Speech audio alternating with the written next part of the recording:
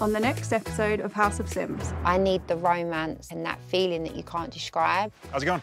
Good, I'm Chloe. Steve. Nice to meet Very you, nice to Steve. meet you. I do think there's things that they are suited on. I actually think he's a really nice person. I've been thinking about Chloe's text. I do think it is resolvable, but we're going to have to put our egos aside.